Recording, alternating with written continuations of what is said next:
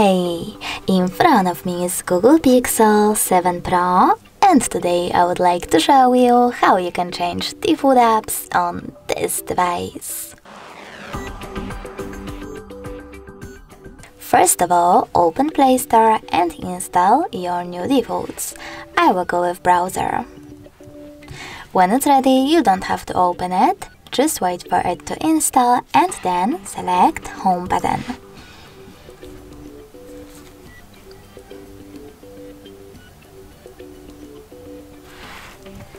Now go into Devices Settings and click on Apps section over here. Then scroll down just a bit, click on Default Apps and click on one of those options.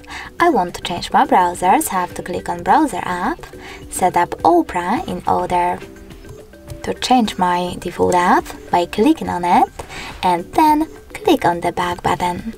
And as you can see after that, my default app has changed. Thanks so much for watching. If you enjoyed this video, don't forget to leave a like, comment and definitely subscribe. Bye!